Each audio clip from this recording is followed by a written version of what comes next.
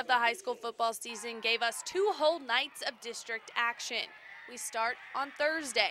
Scotty McCoy and the Magoffin County Hornets hit the road to Jackson to take on district rival Breathitt County.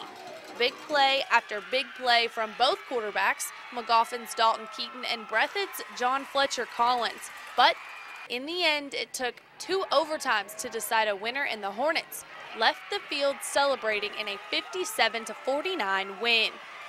To Friday, our game of the week took us to Daniel Field, where two one loss teams battled it out on the gridiron Prestonsburg and Hazard.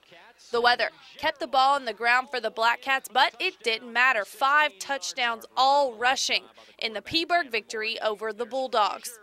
Big night for Class 5A District 7, South Laurel and Lincoln County going on in London, just down the road, North Laurel and Pulaski County, and out in Somerset, Southwestern and Madison Southern. South Laurel jumped out to a quick 14-0 lead over the Patriots, but Lincoln came back to win it. How about North Laurel holding the Maroons to their lowest points total all season, but doesn't matter. Number one Pulaski County comes away with the win 14 to 12. And Madison Southern sees their first loss on the season to the Southwestern Warriors on the road. Going around the coverage area now, how about the Jenkins Cavaliers getting their first win on the season over Knott Central and first win of the Daniel Sexton era in the green and white.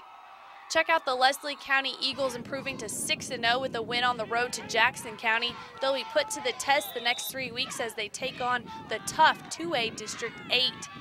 The Knox Central Panthers were without key wideout Matthew Barger, but doesn't matter. They roll over district opponent Clay County 42 to 8. District play continues into next week, of course, but for now, this has been your Lee's Famous Recipe Hazard in Whitesburg two-minute drill.